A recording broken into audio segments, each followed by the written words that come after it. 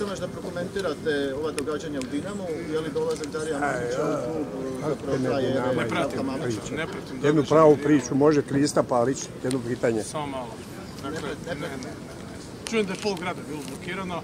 Možda da sljedeći puta u Buzinu odra- održe ovaj, e, zasjedanje, ali ovako mislim građani ne moraju trpiti tu vrstu napucavanja oko toga ko će, biti, ko će voditi nekakvu udrugu građana.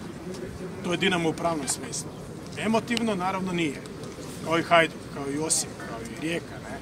Ali ostavite me od toga, dakle to se ne želim petiti. Nisam ovih 56 godina pa neću.